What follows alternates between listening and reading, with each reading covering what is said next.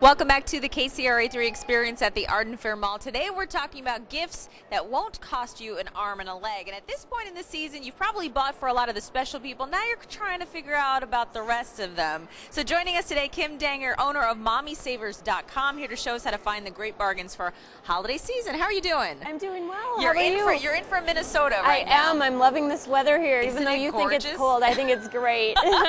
Joking about that. So give us some good ideas for maybe that person you're like, okay, I'm not really exactly sure what I'll they help like. you fill in the gaps Yeah. here. I love Netflix. My own family has been using this for years, so I thought it would make a great gift idea.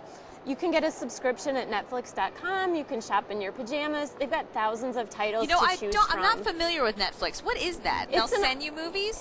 Exactly. They send you movies in the mail. Okay. There are no late fees, so it's extremely convenient. Ah. Their subscriptions start as low as $4.99, so it's Oh, okay. will truly fit any budget. So DVDs will come in the mail and then you can send it back. So it's not like you're burdening uh, people if you get them a subscription where they Right. they And have to do something. They get to pick the movies they want. There's hundreds. Of, there's literally almost hundred thousand titles to choose from. oh, that's a good idea. yeah.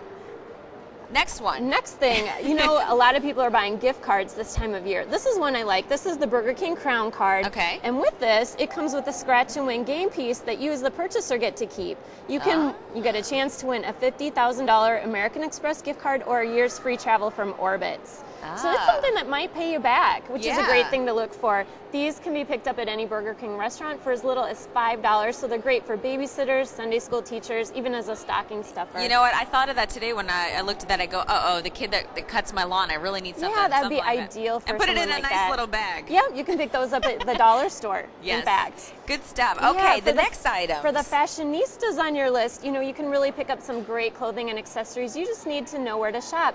Cashmere is really hot right now, and feel how soft these are. These are just fantastic. Mm. I got these at Marshalls, and these were all in like the 50 to 80 dollar range, Right. which is great when cashmere at the department store can cost 100 Oh, I know. Up, I have seen it at the department stores here for quite a bit. But yeah, Yeah. this is nice. Nice yeah, stuff. Super nice stuff. You know, people are kind of hesitant to buy luxury for themselves because they kind of feel guilty doing so. That's why Mm-hmm. I think it makes a great gift. Leather is also a great gift idea. These are all genuine leather items. I picked these all up at TJ Maxx. Uh-huh. They were 50% off retail. In fact, some of the accessories were as low as $14.99. Oh wow! So leather gloves, or anybody can use a journal or a planner. Right, right. And then the personalized. I love Yeah, this. You know, if you've got time to do it, homemade gifts are always a hit. I love doing this. It, getting the whole family involved. My daughter helped me with this. We have a little cookie jar here. Got the ingredients to make cookies. You can give that to a neighbor or a friend. They don't have to make the cookies now. They can do it later. and Also- this, this yeah. recipe book is awesome. Right. You know, a lot of people's recipes kind of look like this. I just pulled mine out and The I cards, that, we were talking about this, the cards that are all kind of shriveled, stuck in all the books. I know I have yeah, plenty of I these. know everyone does. You say write them out nicely and get I them in a nice binder I here. I photocopied these all.